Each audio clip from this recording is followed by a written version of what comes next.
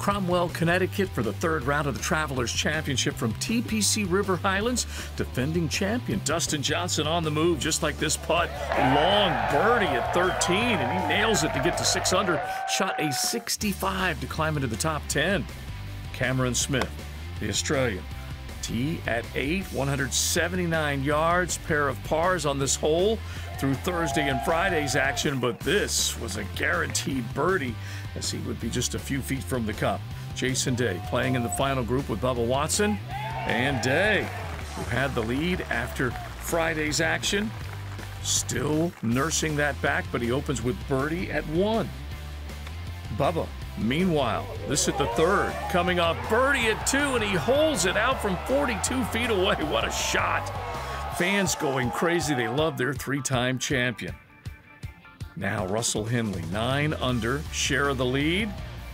He holds the putt from 10 feet and moves to 10 under par.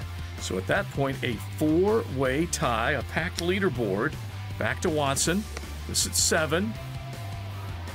First ever win on tour came here in a three way playoff, and he's won twice since then. Bubba to five feet. He would make the putt moving to 11 under. Here's Guido Migliozzi of Italy looking for birdie at the last, and he drops it in. Migliozzi very excited. Fans welcoming him to Cromwell, Connecticut. Kramer Hickok looking for birdie at 14, 19 footer. That takes him to 11 under, and he breaks that logjam, taking the lead outright. Hickok looking for his first win on the PGA Tour. Same can be said for Mark Hubbard, second coming into 18. And a beautiful result. Above the hole by about five feet, and Hubbard would brush that in, moving to 7 under. Kramer Hickok at 15, short par 4. Fans ringing around the back portion of this green just so they could watch these tee shots and second shots coming in. That would lead to birdie. He would move to 12 under. Also at 15, Bubba Watson up the hill, and that one's in. And he would move back to 10 under par.